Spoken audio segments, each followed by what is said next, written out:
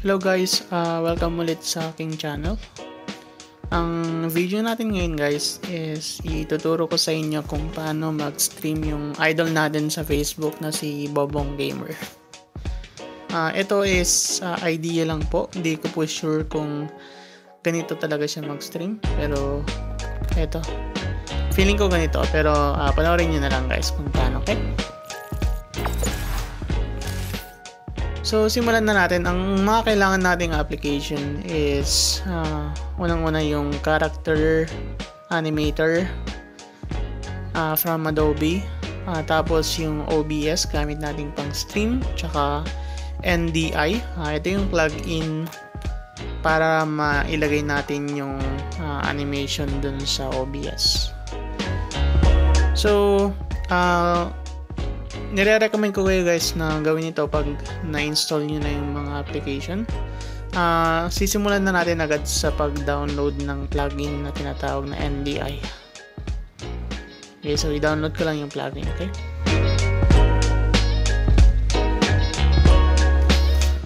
Uh, di bali guys, uh, yung plugin, uh, yung link ilalagay ko na lang sa description sa baba. So, papakita ko lang sa inyo kung paano ko sila i-download.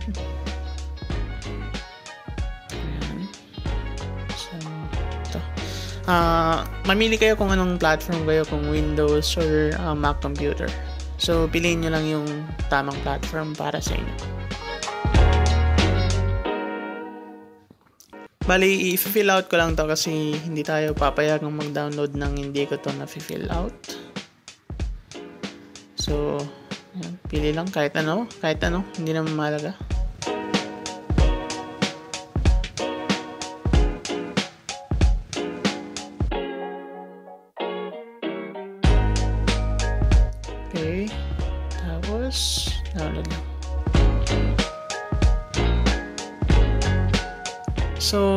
Habang nagda-download uh, yung application or uh, plugin na kailangan natin, uh, mag-open pa tayo ng isa pang tab para naman i-download pa yung isa nating kailangan.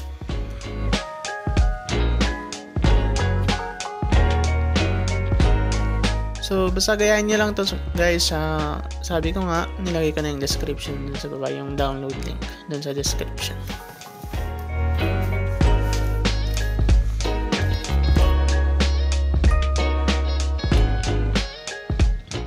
Hanapin lang natin yung download link. Ito.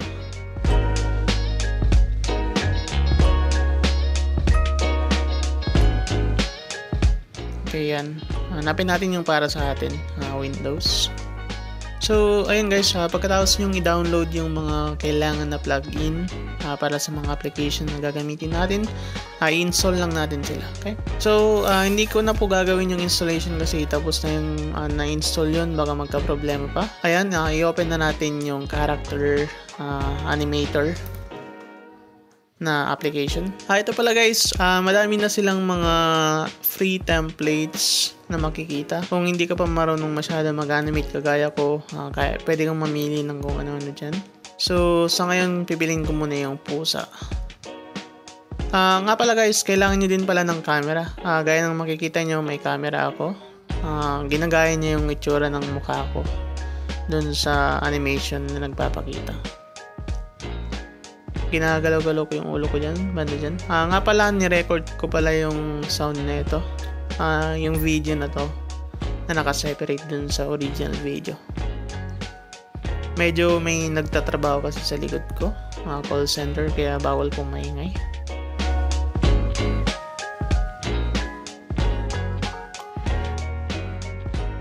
tignan nyo lang itong mabuti. Uh, kailangan lang natin i-hold yung control dun sa pag nasa Windows kayo, hold nyo yung control, tapos punta kayo dun sa icon na yan. Or kung Mac naman kayo, hold nyo lang yung command and click nyo. Uh, make sure naka-target yung camera nyo at yung microphone dito sa setting na to. Tapos pag lahat okay na, uh, click nyo lang yung okay. So, pag na-click na na yung okay, pwede na natin i-minimize or i-resize to uh, sa maliit na window. Then, open natin yung OBS natin.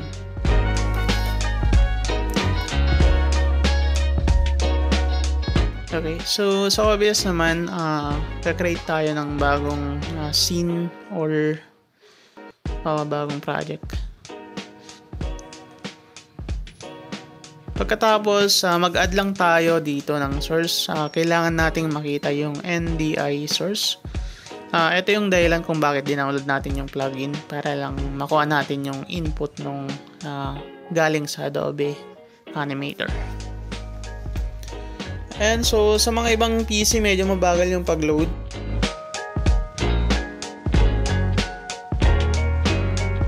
So, ayun. Uh, banda rito, ginagalaw ko yung ulo ko. Kunin ko yung isang uh, animator. Ayan. So, makikita nyo guys, uh, ginagalaw-galaw ko yung ulo ko. So, open ko lang yung uh, mirror, uh, mirror ko uh, para ma-mirror yung cellphone Uh, kung hindi nyo pa alam guys, may video din ako kung paano mag-mirror ng cellphone sa computer para makapag-stream. Okay, uh, isasaksak ko lang tong phone ko. Saglit lang.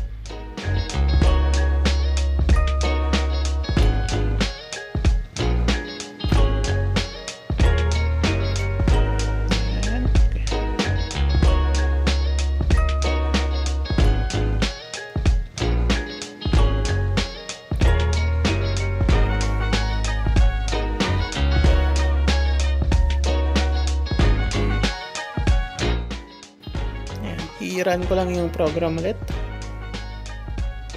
Para makuha ko yung input ng cellphone ko. At malagay natin dito sa OBS so ito na yung cellphone ko. Alright i-resize ko lang to. Ayan. Then mag-add ako ng input or source at hanapin ko yung window capture. Ah, kahit anong name dito. Ah, nasa sa inyo na yun. Ayan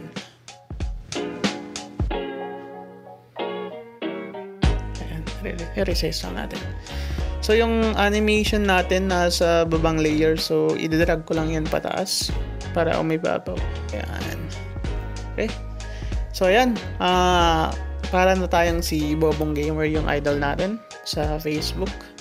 Sobrang nakakatawa po yung panoorin. So, kung gusto niyo po siyang i-follow or panoorin yung live niya, punta lang po kayo dun sa link sa baba. Ilalagay ko po dun yung streaming uh, page niya. Uh, dito sa part na to, uh, yan, uh, dito nyo ilalagay yung mga streaming key pag gusto nyo nang mag-stream sa Facebook or YouTube.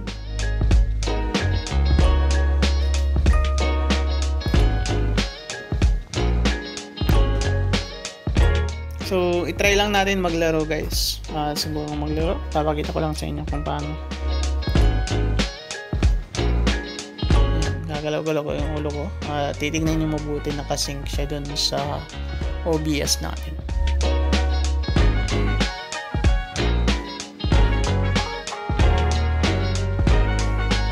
Magka-custom lang tayo. Practice lang tayo.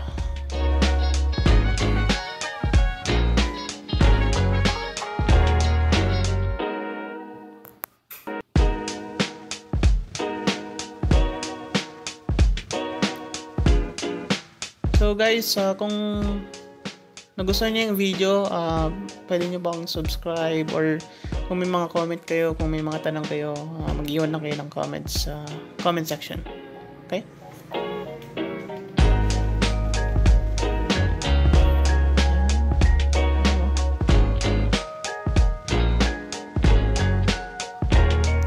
Uh, medyo maingay kasi sa kwarto guys kung mapapansin nyo uh, yung kulay green dun sa microphone, tabi ng microphone, uh, nag-iiba-iba yung level kasi may dito sa kwarto. Kaya nag-decide akong i-separate na lang yung audio ng video na to.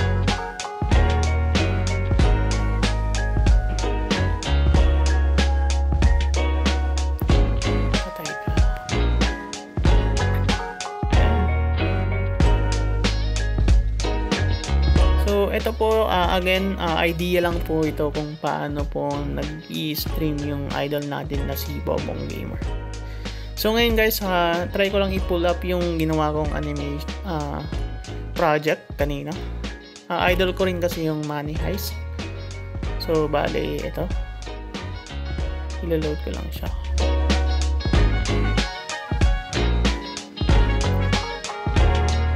Kasi pwedeng pwede kayong magpalit ng puppet nyo. Ang tawag dyan kasi puppet. So, pwede kayong magpalit ng puppet nyo habang naglalaro. Ayan. Ayan yung puppet na ginawa ko kanina. Medyo kung saan saan ko lang dinownload yung mukha niyan. Tapos, nilagyan ko lang ng mga uh, iba't ibang alam mo yun, uh, iba't ibang action. So, ayan. Uh, kung mapapansin nyo, uh, ang, gan- ang parang nakakaakit kasi madaming uh, galaw dun sa kamay. Tapos gumagalaw-galaw din yung mata. Ginagaya niya yung mga galaw sa na nakikita niya dun sa camera. Uh, guys, wala kung gusto nyong kunin yung template na itong ginawa ko kanina. Uh, email nyo lang ako. Uh, iniiwan ko yung email ko dun sa description sa baba. At isa-send ko sa inyo.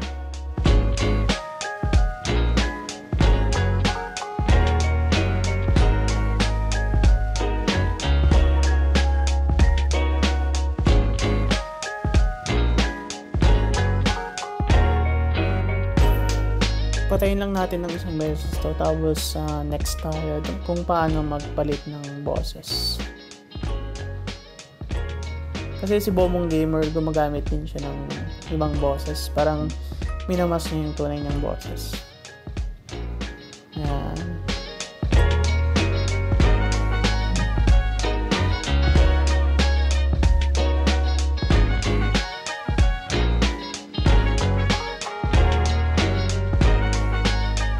So, close ko lang to. Ah, close ko na lang muna lahat.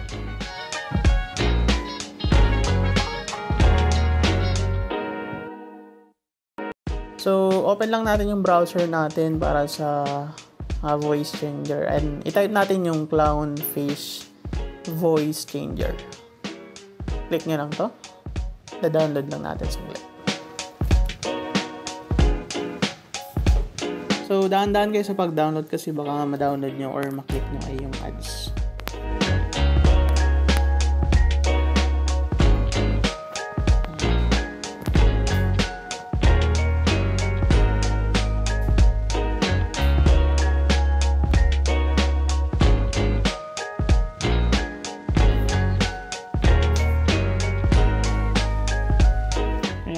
Ayan, install lang natin tong uh, clownfish voice changer. Ah, iniwan ko din yung download link doon sa description.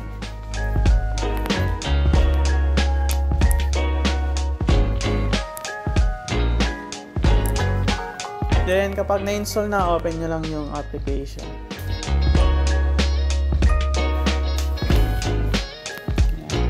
Ayan, madaming pagpipilian dito.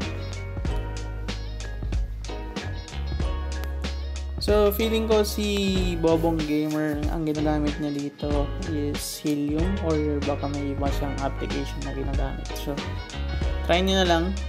Uh, mamili kayo sa mga pagbibilihan dito. Okay?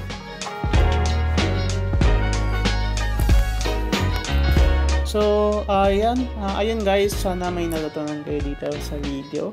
Uh, sabi ko nga nung una, ang video na to is uh, ginawa ko to para lang ipakita sa inyo or mabigyan kayo ng idea kung paano mag-stream si Bobong Gamer. Ayun guys, salamat sa panonood. Uh, mag-subscribe, mag-like at mag-comment ng mga nais nyong ipalam sa akin. Maraming maraming salamat po.